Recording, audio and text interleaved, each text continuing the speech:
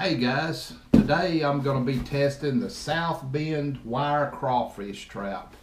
I got this on Amazon as you can see here on the ad, uh, $10.96.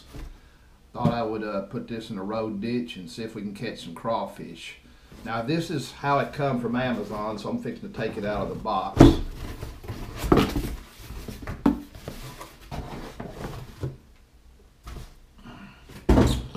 All right, that's what it looks like. Wire cage, looks like it's covered in a, a coating.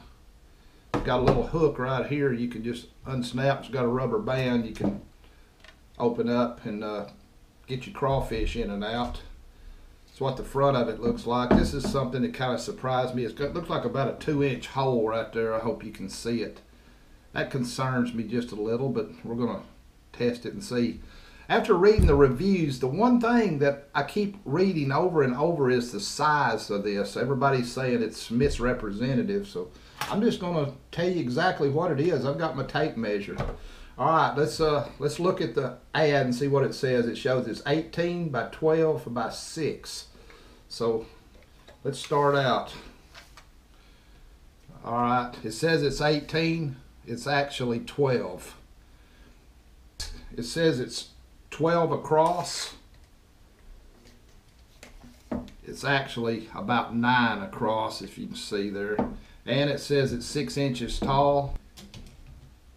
And it is about 6 inches, six and a half inches tall. So the ad says it's 18 by 12 by 6. In reality, it's more like 12 by 9 by 6. With I'm not real sure that's going to make a lot of difference. It'd be just a little bit bigger, but tell you what, dude, let's let's go see if it works. I know where there's a good road ditch for me and my grandkids catch crawfish in all the time, so I'm gonna go put it in, bait it, and I get out there. I'll show you how I bait it, and we'll see if this thing will catch crawfish.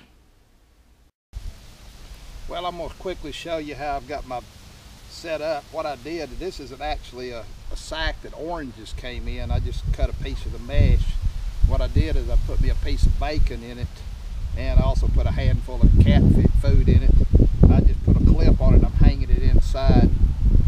That's going to be my bait. And what I did is I just got me another clip and I just clipped it on, got me a string.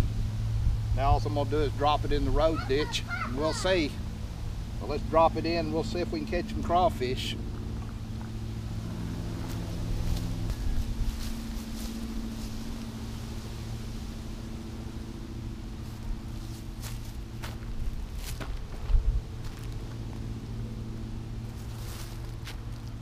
Well, let's come back tomorrow and see if we can catch some. Well, we've left it overnight. As you can see, I got my grandson Asen with me. You've seen him in a lot of my crawfishing videos, so I'm gonna let him pull it in. We're gonna see if we got anything.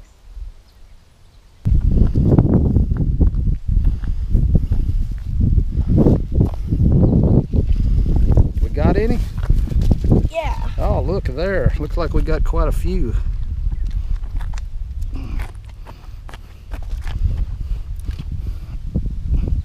Not going to keep them. I'm just going to dump them out, let them go. Can you dump them out? Yeah. Okay, dump them out. Just dump them out. On the ground? Yeah, dump them out.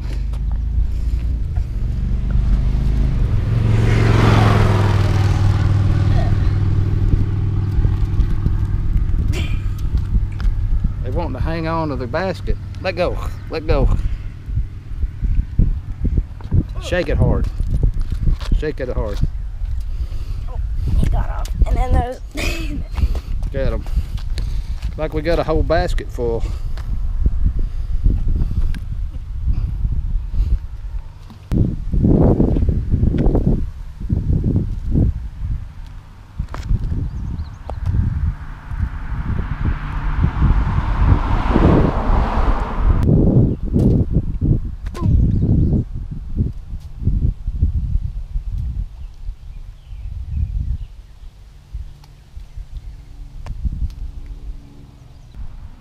Well, again, this is a South Bend crawfish trap. As you can see, it'll catch crawfish out of a road ditch, so I would think it would catch crawfish pretty much anywhere.